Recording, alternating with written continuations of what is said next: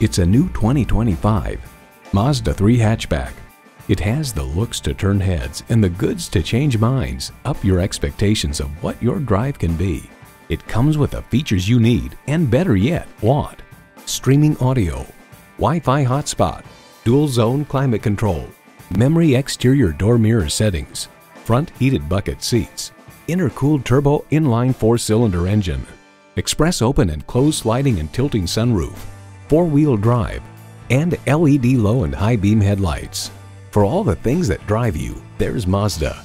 The time is now. See it for yourself today.